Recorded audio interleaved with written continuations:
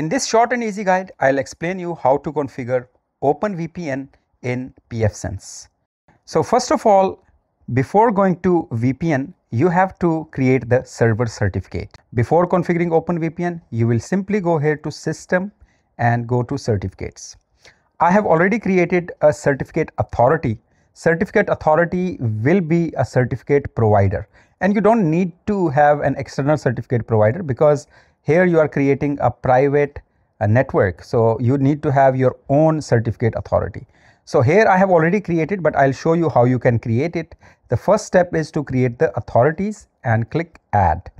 Here you will create a certificate authority. For example, I will say Amjad certificate authority CA. So here will be internal certificate authority.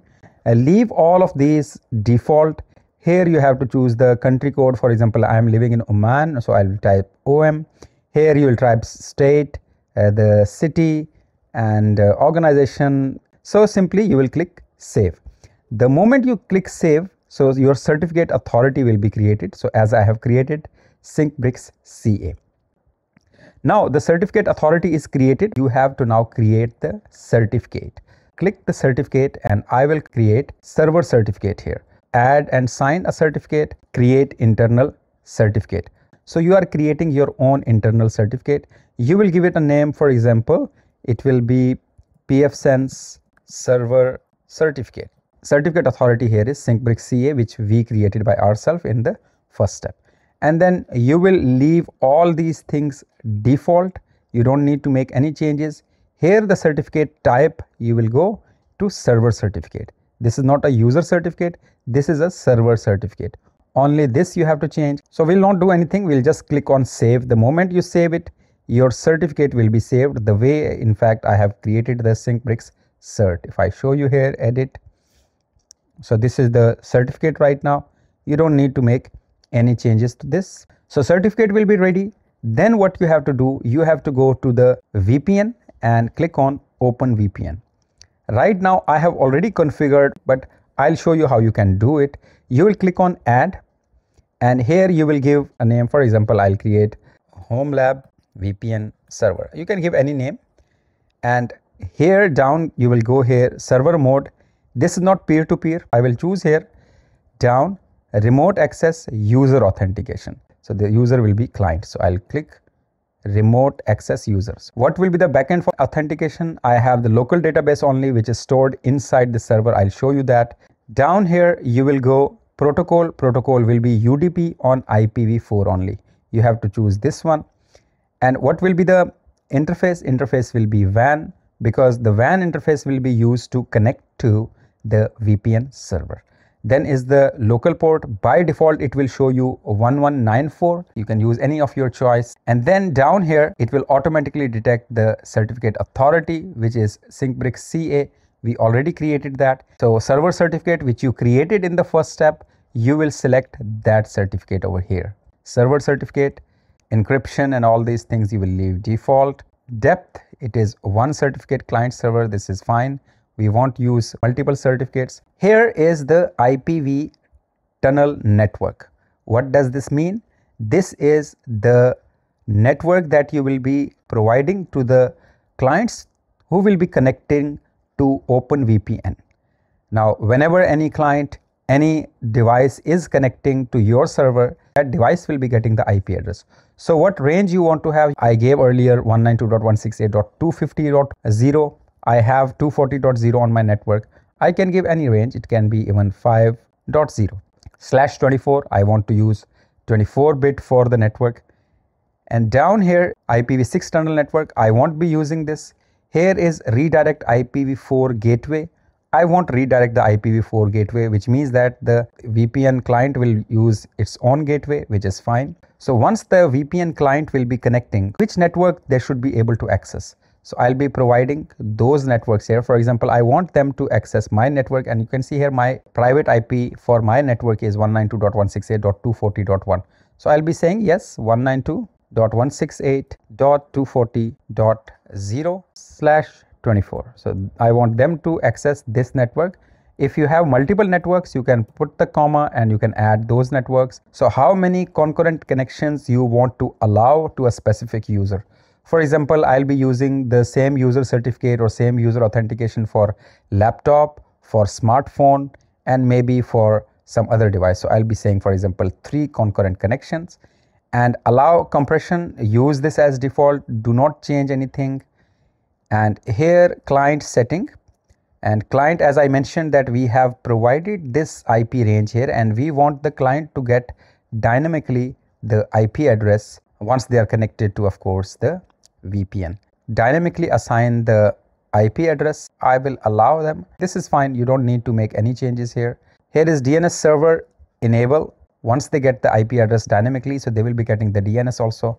You can give any DNS. I will be using Cloudflare and Google DNS. You can use your own local DNS also to make sure that if you have defined any DNS configuration in pfSense, so they will also get the local DNS and rest of all these things I will leave blank. These are the additional configuration, for example, push route, gateway creation, I will leave this default. Now, once you have done this, you will save it. This was the second step after certificates. You created this server. Everything is fine here, all the networks. You can see here VPN configuration, DNS configuration, and here if you go up uh, exposed networks I have exposed these two networks and this is the IP tunnel network for my existing configuration and so on.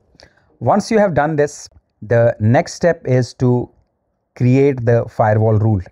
We want to allow clients to access to this particular VPN server.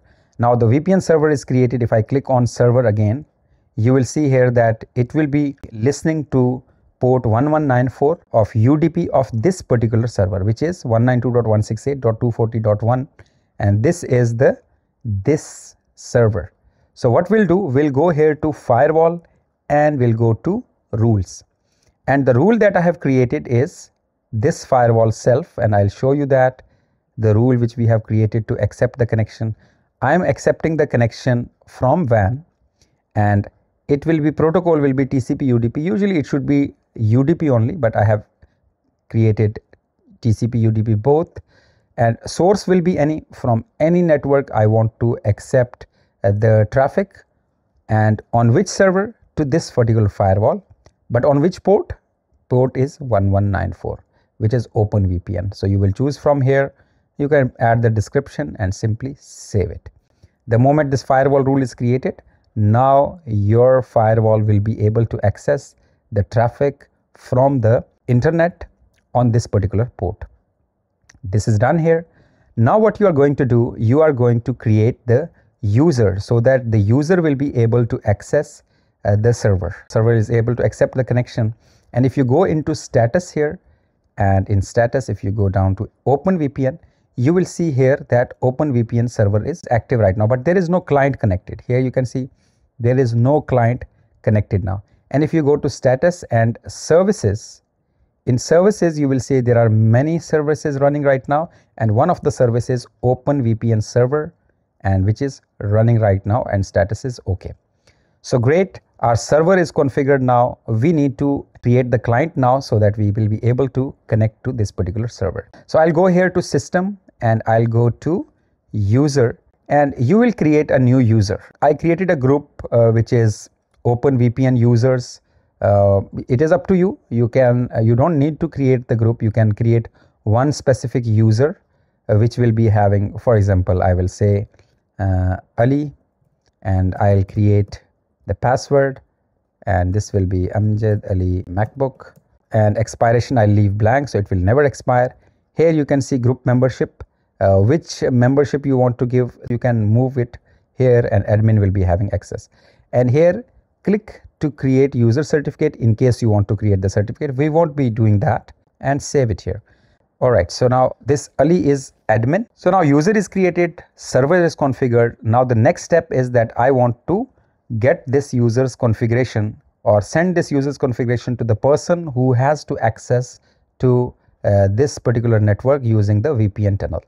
Uh, so here what we need to do if you go here to VPN and open VPN you will see here client export option is here but this client export option may not be available to you by default the reason is because this is a package that needs to be installed and I'll show you how you can do that you will go into system and in system you will go down here to package manager. Here you can see export pre-configured OpenVPN client. So you can just look for available packages. Of course, the package is already installed, so I won't be getting that. You need to search OpenVPN client export.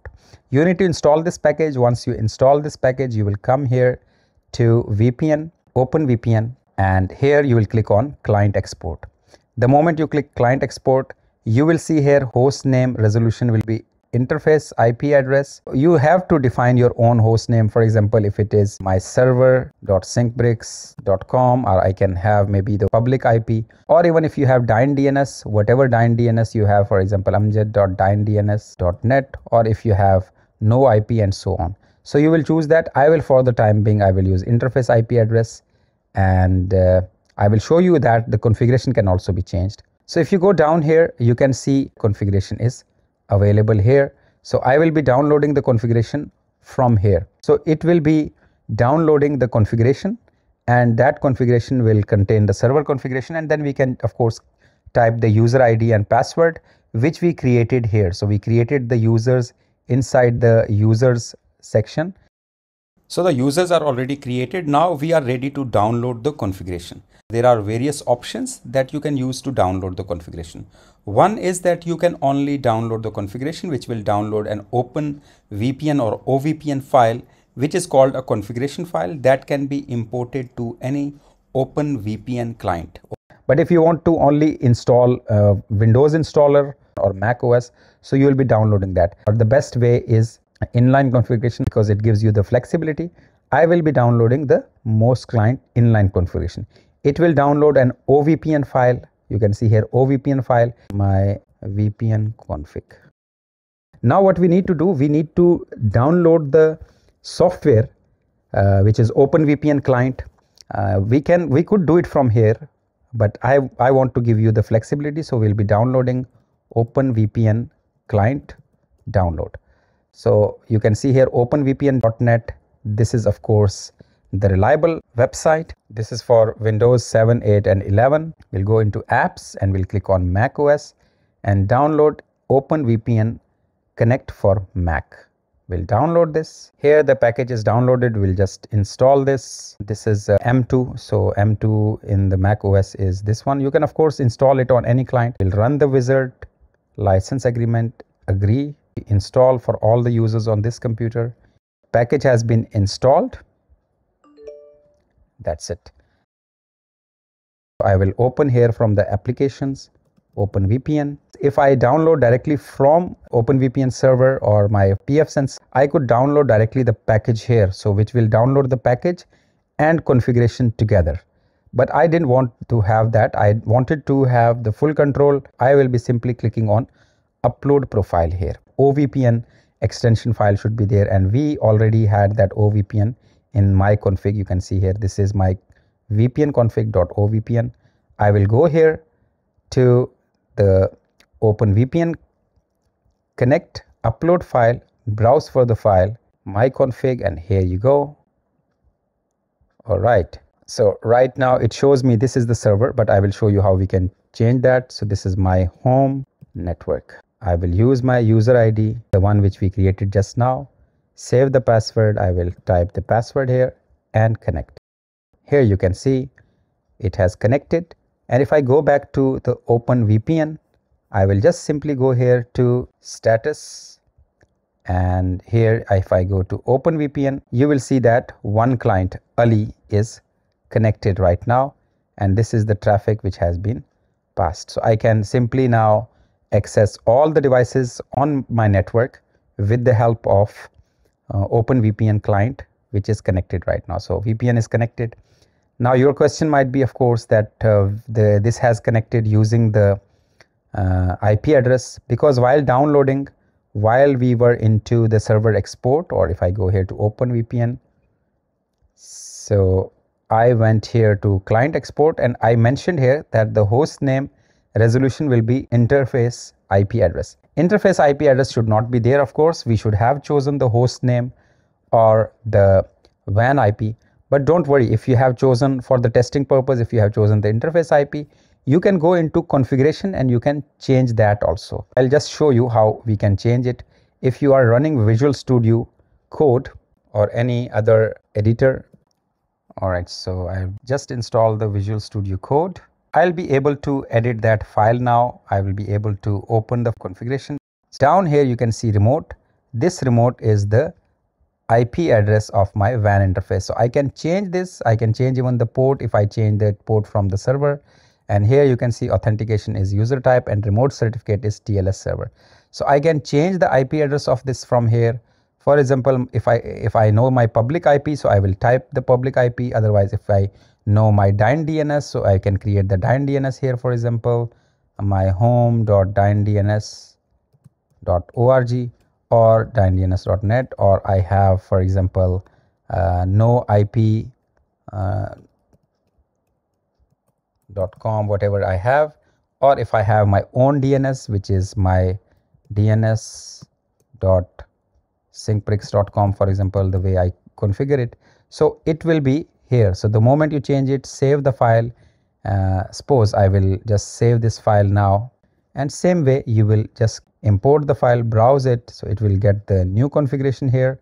And simply you will come here and connect to the open VPN here you can see I'm now connected to my server with the new configuration. Click here on open VPN status.